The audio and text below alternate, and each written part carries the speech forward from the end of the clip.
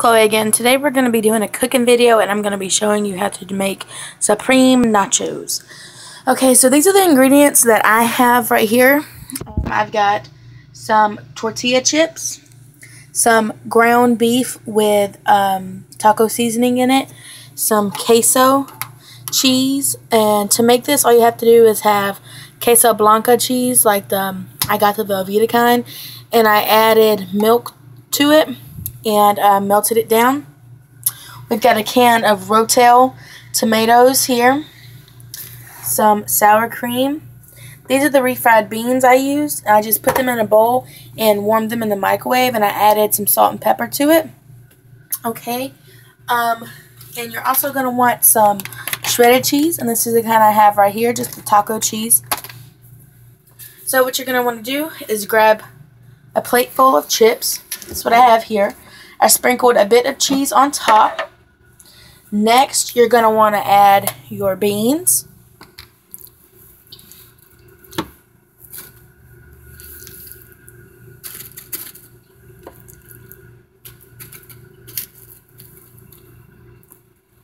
Just like that, just however much you want. Um, and mind you, this is just how I make mine. Everybody's is different. But this is what my family likes. Okay, next we're going to add the Rotel tomatoes. I'm just going to sprinkle those over the top. Like that.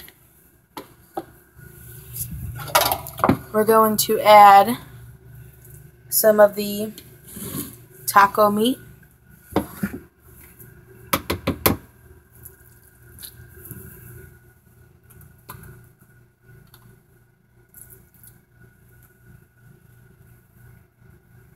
Like that. A little bit more cheese on top of the meat. And I'm doing this with one hand, so if it's a little bit hard to see or it's a little shaky, I'm sorry about that. Okay, then um, to finish it off, you would add um, however much of this cheese, the queso cheese that you want. I'm not going to put mine on there um, because I don't want any on there right now.